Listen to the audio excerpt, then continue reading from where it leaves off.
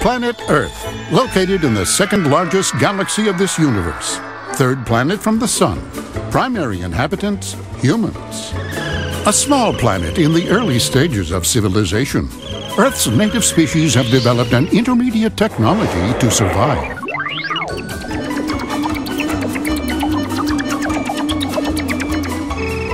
Let's look at the Jetsons.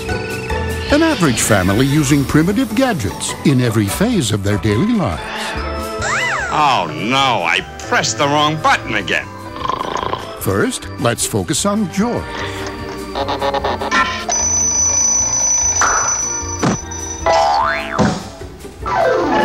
I hate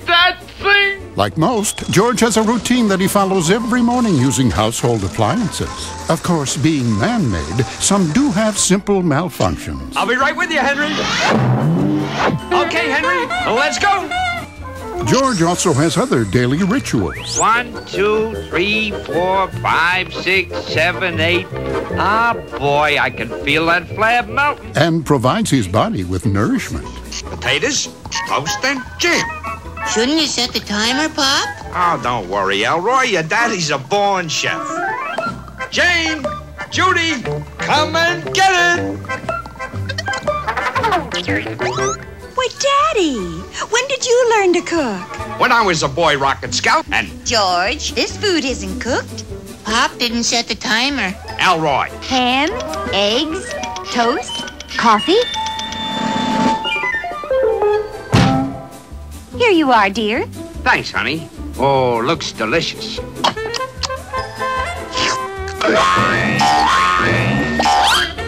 You burned the toast again. Now, don't start telling me about your mother's breakfast food. Now George is off to work, where he uses the latest innovations to develop his planet further.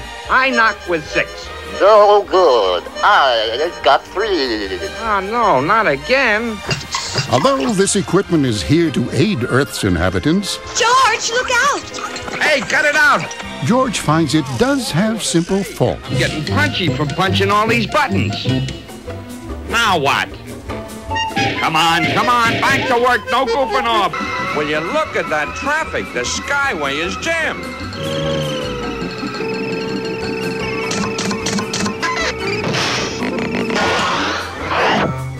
And at night, George cozies up to modern electronics. Good evening, Mr. J.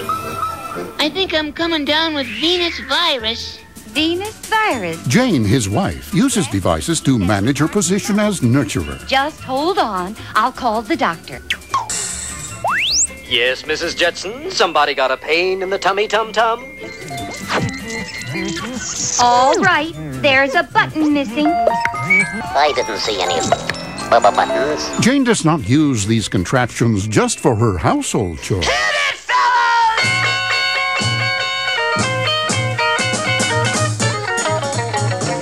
She uses these advances for entertainment and personal decor. Oh, Sally, it's beautiful. Now, this is what I meant. Come on now. Let's put your raincoat on. Elroy, the youngest of the Jetsons, uses the progress of technology in his day-to-day routine as well. And don't forget to peel it off when you get to school. From wall climbing footwear Hi, Pop. Hi, Elroy. You've got me. And celebrating good grades Oh, A's. Ooba dooba. to getting home in time for dinner. Well, so long, Irving. See you tomorrow. Sister Judy, That's your bathing suit? a product of Earth's gizmo generation, One anti-gravity floor coming up. enjoys fun at warp speed. Didn't you ever space ski to school when you were a kid, Mom? Why, even Earth's lesser species are benefiting from the planet's ever-developing gadget-based lifestyle. Row, row, run. The Jetsons' home planet may seem simple and underdeveloped now, but in a few short centuries, this civilization could be one of the galaxy's elite.